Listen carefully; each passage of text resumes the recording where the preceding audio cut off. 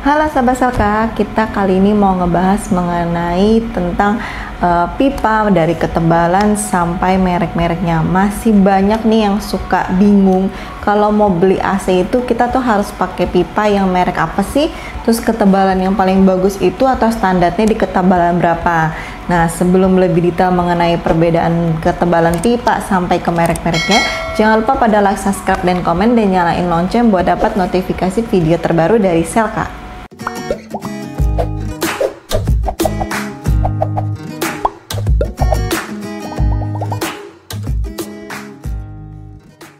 Halo sahabat Selka, kita ada kabar baik banget nih karena banyak banget yang request dan juga banyak banget yang nanyain udah lama dari bulan-bulan lalu malah tahun-tahun lalu.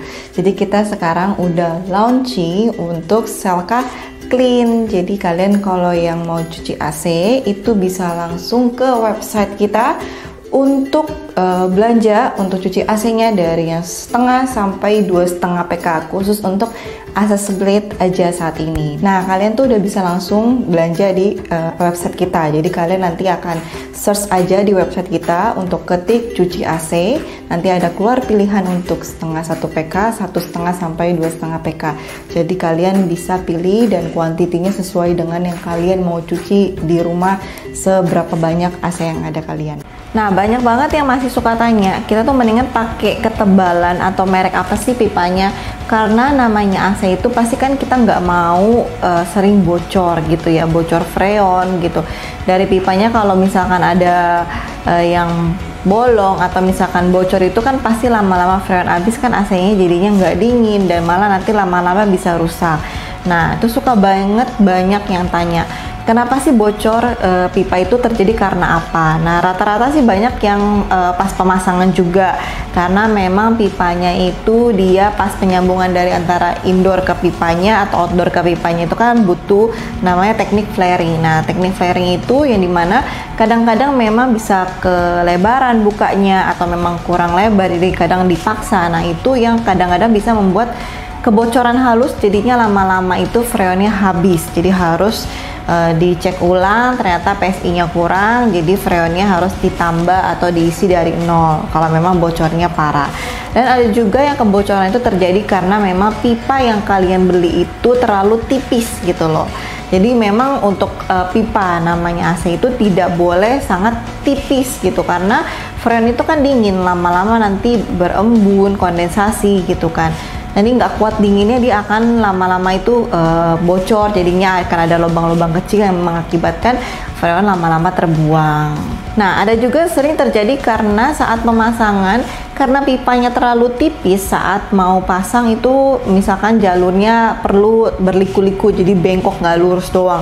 Nah, saat pembekokan oleh teknisi itu kadang teknisi juga ada yang uh, kekerasan gitu kan jadinya bisa mengakibatkan uh, bocor yang halus juga gitu. Jadi memang di, tidak disarankan terlalu tipis karena memang kita saat pemasang itu harus ada pembengkokan karena tidak mungkin akan lurus doang karena pipa itu akan masuk plafon ataupun enggak.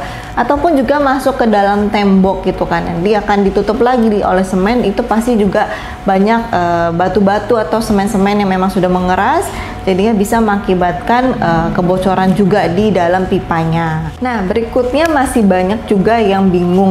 Uh, pipa itu kan PK-PK masing-masing juga mempunyai ukuran pipa yang berbeda. Jadi kayak misalkan setengah sampai satu PK itu rata-rata pasti menggunakan seperempat tiga per 8 terus satu setengah seperempat setengah. Ada yang sampai 2 PK pun juga menggunakan seperempat lima per 8 itu bukan untuk ketebalan pipanya ini hanya untuk ukuran PK nya besarnya diameternya itu uh, lebih ke sesuai kebutuhan si PK masing-masing. Nah, pipa ini tuh ada dua, jadi satu pipa untuk liquid, satunya lagi untuk gas. Jadi memang satu kesatuan setiap pembelian AC wajib pipanya itu pasti memang sudah jadi satu kalau untuk AC split ya.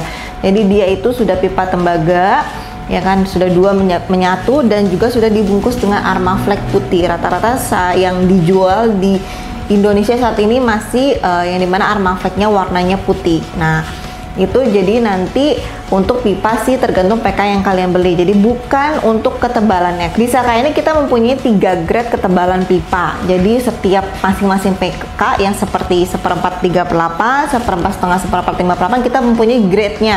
Dari grade basic, premium sampai elite nah jadi kalian tinggal pilih sesuai kebutuhan kalian kalian lebih mau menggunakan yang basic 0,5 dan seterusnya. Itu tinggal kalian pilih ada di websitenya kita. Selka ini kenapa mempunyai tiga grade ketebalan? Karena memang kita mengikuti pasaran dan kebutuhan customer kita. Karena ada juga yang memang pada dasarnya mau menggunakan AC tapi budget untuk pembelian pipanya terlalu mahal ya karena memang pipa tembaga saat ini makin lama makin mahal. Itu kita mengikuti pasarnya in customer customer Selka jadi kita punya grade yang memang uh, yang tadi saya bilang adalah 0,5 yang tengah-tengahnya di premium 0,6 dan di elite-nya di 0,8 memang lebih ke yang mempunyai dana lebih. Nah, untuk ketebalan ini walaupun Selka mempunyai beberapa merek tidak perlu khawatir karena bukan berdasarkan mereknya ya. Walaupun memang merek itu pasti lebih sering didengar, tapi perlu kalian ketahui kalau misalkan yang penting itu kalian harus tahu bahwa merek tersebut memang menggunakan milimeter yang benar. Nah, di Selka ini kita sudah sortir dan kita sudah uji semua menggunakan alat yang kita beli memang untuk mengukur ketebalan sampai 0,00 sekian milimeter. Jadi memang pasti dipastikan yang kita jual, yang kita berikan ke customer kita real ketebalannya sesuai dengan grade-nya. Jadi kalau memang basic 0,5 ya ketebalannya memang sudah diukur 0,5 gitu. Dan kalau 0,6 ya memang 0,6. Jadi walaupun kita ada beberapa merek itu tidak perlu khawatir dan memang misalkan mereknya tidak kalian familiar itu juga tidak perlu khawatir karena memang pada dasarnya balik lagi semua itu ke ketebalannya. Jadi kalau misalkan mereknya di kita ada yang merek Denpo. Denpo ketebalan 0,6 gitu. Jadi bukan karena mereknya kalian jarang dengar tapi benar apa enggak 0,6 itu pasti dijamin 0,6 karena memang kita mempunyai alatnya. Kalau memang misalkan kalian uh, masih kurang percaya bisa nanti kita coba bikin video kita akan kasih lihat langsung ini loh yang kita potong kalian bisa lihat nanti kita akan bikin videonya untuk kalian lebih tahu mengenai si ketebalan benar-benar 0,05 atau 0,6 atau 0,8 nya Nah, bagi standarnya pabrik adalah untuk ketebalan yang paling baik itu di 0,6. Di kita Selka ini untuk yang 0,6 masuk ke grade yang premium.